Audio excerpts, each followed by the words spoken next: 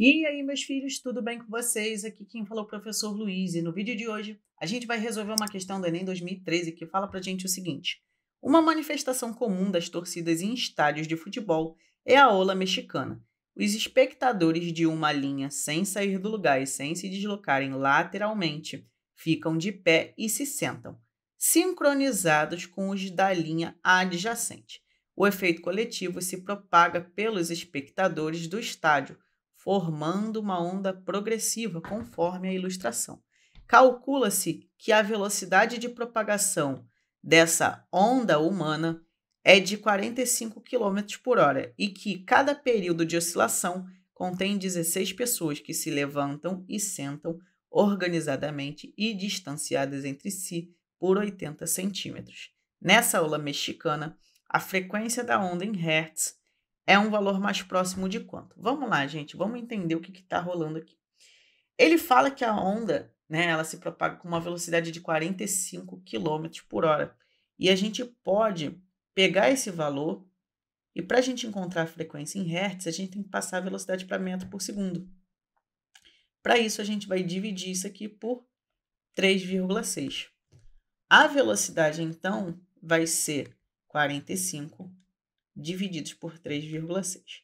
Você pode fazer essa divisão, vai dar 12,5, mas eu vou dar uma enroladinha aqui e guardar esse valor para ver se no final isso simplifica ou não e deixa a nossa vida um pouquinho mais fácil, beleza? Vamos lá. Comprimento da onda. Com, é, observa o seguinte: essa onda ela é formada por pessoas que sobem e descem. E ele diz que o período completo da onda, ou seja, para uma oscilação completa, a gente tem 16 pessoas, uma ao lado da outra. Beleza? E aí, ele te deu um desenho que é muito necessário para resolver a questão. Por quê? Porque aqui a gente tem 16 pessoas e a gente precisa calcular o tamanho dessa onda. Ele fala que cada pessoa está distanciada entre si a uma distância de 80 centímetros, beleza? Aqui a gente tem 16 pessoas, tá? Eu não vou fazer todas porque não vai dar espaço. Mas eu quero que você saiba que todas elas vão estar tá subindo e descendo e com isso vai formar essa onda.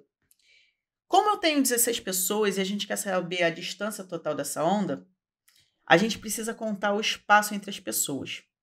Então, observa o seguinte: entre duas pessoas eu tenho um espaço. Entre três pessoas eu tenho dois espaços. Se eu colocasse uma quarta pessoa aqui, eu teria três espaços.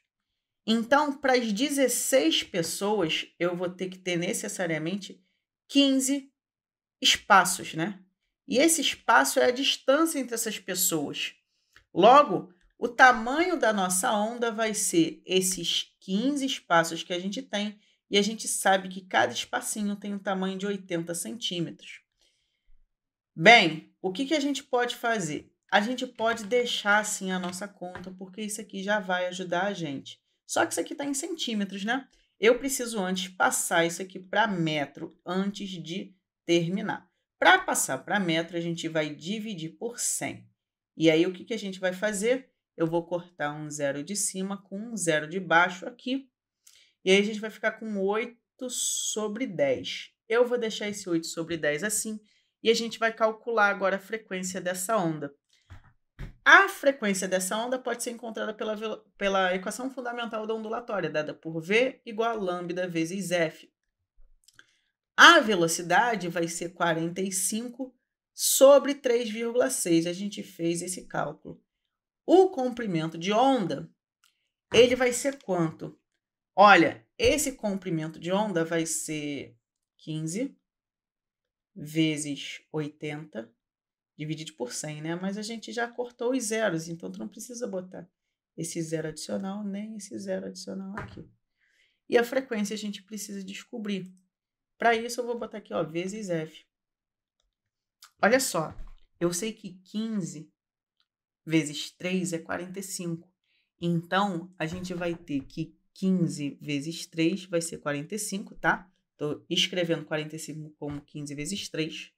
Esse 3,6 eu posso reescrever ele da seguinte maneira. eu posso fazer ele como 36 sobre 10. Aqui eu vou ter 15 vezes 8 sobre 10 vezes f. Poxa, Luiz, você complicou a conta. É, mas eu já vou descomplicar, fica tranquilo. Vou cortar esse 15 com esse 15 e aqui é uma divisão de fração. Vou repetir a primeira fração e multiplicar pelo inverso da segunda.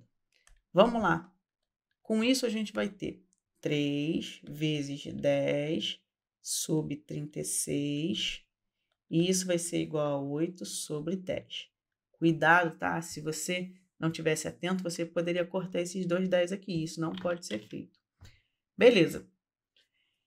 Vamos lá, Luiz. E aí, o que, que a gente vai fazer agora? Pô, não tem muito o que fazer, né? A conta não tá muito agradável. Mas a gente pode fazer o seguinte: a gente pode escrever esse 36 como 12 vezes 3, né? E aí vai ficar 3 vezes 10 sobre 12 vezes 3 igual a 8 sobre 10. E você não pode escrever, esquecer da frequência, né? Que você está fazendo o cálculo, né, criatura? E aí, pode cortar o 3 daqui com o 3 daqui. E aí, bem, pegar esse 10 que está dividindo e passar para o outro lado multiplicando. A gente vai ter, então, 10 vezes 10 tem que ser dividido por 12. E agora, ó, vou pegar esse 8 que está multiplicando, passar para o outro lado dividindo. Vai ficar aqui no denominador o 8. Bem, aqui você pode fazer a conta do que você quiser, tá? Não vou mais te perturbar com as contas, mas eu vou continuar fazendo desse jeito, ó. Eu sei que 10 é 5 vezes 2, então eu vou ter 2 vezes 5 vezes 2 vezes 5, são os dois 10 que a gente tem ali. O 12 é 2 vezes 6 e o 8 é 2 vezes 4. Posso cortar os dois, ó, que lindo. E aí a gente vai ter o que, mais ou menos, né? Você vai ter 25 aqui em cima sobre 24. E isso dá, eu sei que se eu der uma arredondada aqui, uma roubada para 25, a gente sabe que isso aqui tem que dar quanto? Próximo de 1, né? 25 sobre 24 é quase a mesma coisa que 25 sobre 25. E isso dá quanto? 1. Logo, nosso gabarito vai ser a letra C. Pô, Luiz, fez tanto isso para achar 1. É, foi isso. Eu vou ficando por aqui então, gente. Eu desejo a todos uma ótima semana, bons estudos e até a próxima. Tchau, tchau.